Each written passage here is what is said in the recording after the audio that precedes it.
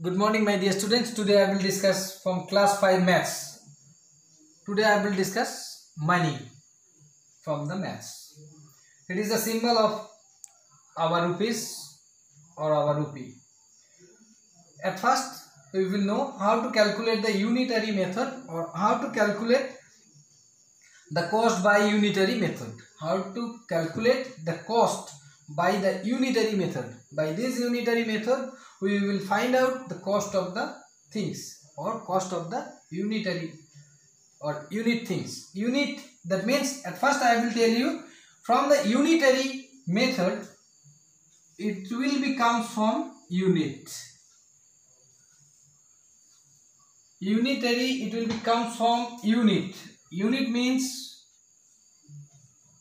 1. That means we will find out each of every each and everything each and particular one things how many rupees. If is there 5 for rupees 45 that means suppose it is 5 pens 5 marbles 5 copies etc 5 of these things will be in 45 rupees how to find out the one or unit or each things need?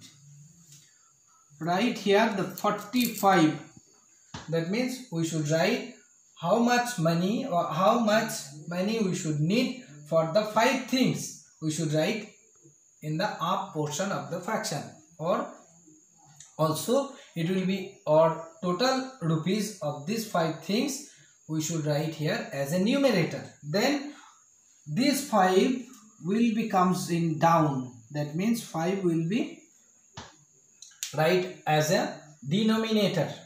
5 will be goes down and 45 or the total rupees we should write here as a up portion of the or upper portion of the fraction after that 5 and 45 it will be or these are divisible by only 5 5 ones are 5 so we should write here 1 and 5 9s are 45 so we should write here 9 if it is 9 by 1 also it will be 9 because if any number can be divided by 1 it will be the same number or it will be the itself. So if the 5 pens or 5 things the rupees of uh, rupees of 5 things will be 45 on that time we will find out the one piece of these things. We will divide the numbers how many pens or how many copies we should write here as a below or we should write the lower portion of the fraction and total amount or the total we should write here in the up or the upper portion of the fraction after that it will be divided by the lower number or the divided by the denominator.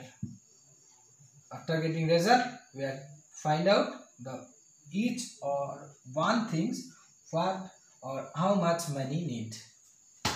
Here is six cost of six pence. Six pence it will be 42 rupees.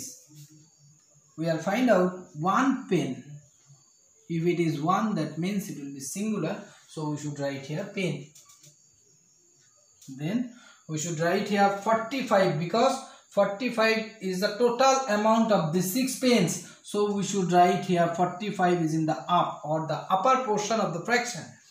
And also we should write 6 as the denominator. 6 will be goes as denominator because 6 pence will be cost if 6 pence will be costed 42 rupees then 1 pence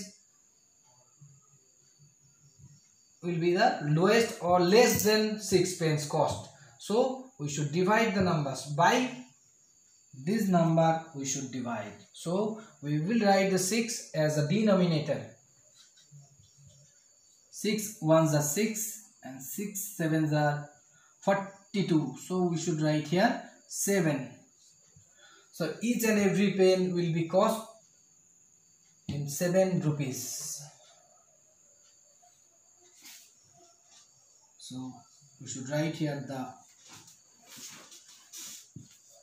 answer. Cost of one or each pen is rupees 7 we should use the symbol of our rupee after that we should write the number or money. Okay? So this one is called the unitary method. I will revise it again. Unitary that means it will become from unit. Unit means one or each. One or each. If is there seven pens or seven things. Okay? So here is some examples. Cost of 12 12 pastries rupees 408 that means the cost of one pastry is divided by 12 because 12 pastry is the total amount of 12 pastries is is 408 so we should write here 408 is in the up and 12 will be goes down because 12 pastries are there okay? After calculate it will be 34 so the cost of one pastry is rupees for 32